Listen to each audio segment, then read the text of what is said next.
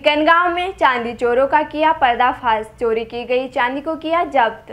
भिकनगांव में पुलिस को चोरी के एक नए मामले में सफलता मिली है। आरोपियों से वज़न डेढ़ किलो, कीमती बावन हज़ार की चांदी बरामद की सफलता हासिल की गई।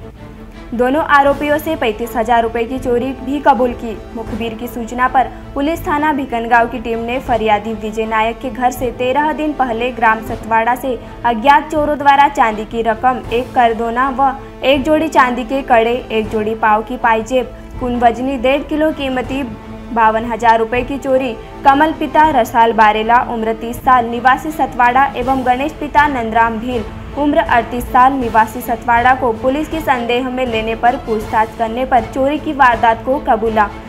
सतवाड़ा में कुछ दिनों पहले चांदी मतलब चोरी हुई थी। हाँ उसके ये अंतर्गत भी कुछ आपने चांदी वादी पकड़ी है क्या है इसका? ये विजय नायक और अमर सिंह सरपंच करके है जो सतवाड़ा के निवासी कृषक हैं वो।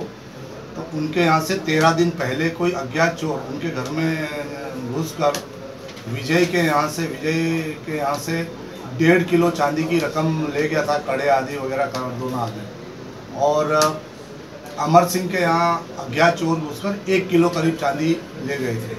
तो अभी पुलिस ने, गणेश वो कमल कमल जो पूर्व चोर भी है, जिसके पाँच छः अपराध भी है तो उसको राउंड अप कर काफ़ी सघन पूछताछ की गई, जिसमें दोनों पुलिस के सामने सघन पूछताछ में टूट गए और उनने चांदी की रकम चोरी करना कबूला।